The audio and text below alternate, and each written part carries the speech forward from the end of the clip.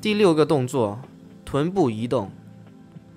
每一次把臀部提高并向前，然后提高及移动一边臀部，用同一个方式向后移动，向前和向后两到三次。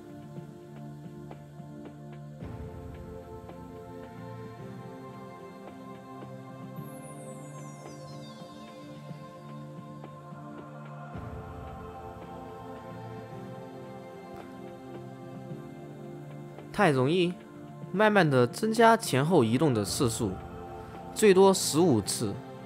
试一下一边做运动一边把一只手或两只手伸出去，或者在你动的时候唱一唱歌。